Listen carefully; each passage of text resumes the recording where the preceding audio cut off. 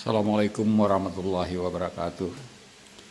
Uh, saya ingin memperkenalkan sebuah fasilitas kecil di sudut uh, kota Jakarta yang saya namakan, yang kita namakan Studio Aksi Literasi. Ya, Studio Aksi Literasi. Ini ada dokumentasi dari tim Visi Indonesia 2033 yang berdiri di akhir tahun 2008 dan logo ini dibuat di tahun 2009 ya. Uh, ya mungkin sebagian besar orang sudah tahu kalau tim visi Indonesia 2033 adalah penggagas pindahnya ibu kota ke Kalimantan dengan argumentasi yang cukup lengkap ya. Gagasan itu dilontarkan sejak uh, tim visi Indonesia 2033 diluncurkan tahun 2008 akhir ya uh, nah ini ada fasilitas untuk tamu ya yang mau bikin kopi sendiri. Ini ada ada macam-macam kopi disediakan. Tangga dari bawah. Ini ada meja untuk ya kadang untuk makan eh, juga untuk membaca ya. Ini salah satu dari tiga rak buku di studio aksi literasi ini. Ya sekarang kita masuk ke ruang utama yang uh, sering menjadi pusat kegiatan di era webinar ini. Ini adalah uh, ruangan utama di mana di ruang ini saya uh, memusatkan kegiatan terutama sejak masa pandemi Covid 2019 ya. Uh, antara lain ya mengisi kuliah untuk mahasiswa yang mengikuti kuliah ekonomi politik, ya, kuliah kebijakan publik, ya, kuliah uh, politik lingkungan dan sumber daya alam. Ada tiga mata kuliah yang saya pegang bersama kolega. Kemudian selain memberikan kuliah, ya tentu saja dari tempat ini uh, saya mengikuti rapat, memimpin rapat, ya kemudian uh, memberikan kuliah umum, kuliah tamu, memberikan training, ya, melayani wawancara dan kadang-kadang ya melakukan taping untuk keperluan uh, publikasi uh, media elektronik atau uh, media sosial ya.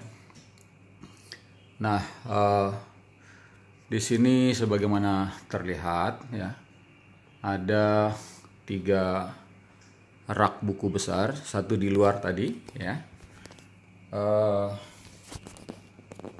rak buku ini uh, berisi kurang lebih 2400 buku ya. Yang tentu saja tidak dikumpulkan dalam waktu sekejap ya. Buku yang 2400 lebih itu adalah hasil pengumpulan selama lebih dari 30 tahun sejak saya mahasiswa S1 ya. Uh, ya ada macam-macam topik ya. Kecuali mungkin kedokteran uh, teknik lingkungan ya.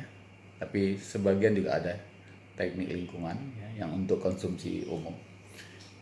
Nah uh, Kenapa kita namakan uh, fasilitas kecil di salah satu sudut kota Jakarta ini sebagai studio aksi literasi, sebagai studio aksi literasi, karena uh, belakangan selama satu tahun terakhir saya bersama teman-teman membangun satu komunitas yang namanya komunitas aksi literasi dan uh, misinya adalah melakukan counter budaya terhadap uh, budaya uh, medsos ya, budaya ins instan dalam mencerna dan menyebarkan informasi.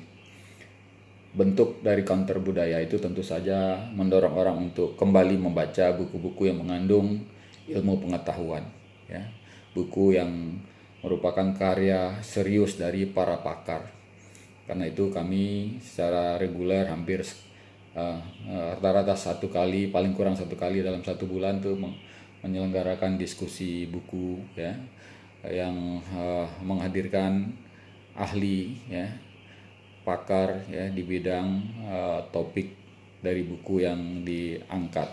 Dan sekaligus juga untuk mempromosikan mengapresiasi karya-karya uh, ilmuwan kita sendiri ya yang sudah berkarya uh, dengan susah payah ya menuangkan ide yang sangat uh, matang ya sangat brilian ya untuk diperkenalkan kepada uh, publik ya kepada masyarakat. Nah itulah antara lain ya. Selain itu ya juga kami saya ya juga me, menggalang gerakan wakaf buku ya untuk mengisi koleksi-koleksi taman-taman bacaan komunitas ya taman baca komunitas ya di desa-desa di komunitas-komunitas yang ada di uh, Indonesia ya. Jadi kita menampung sumbangan buku dan juga uh, ya membeli ya uh, yang dianggap perlu. Demikianlah ya sedikit tentang studio aksi literasi tentang saya ya akhir-akhir ini ya. Saya Andri Novcaniago.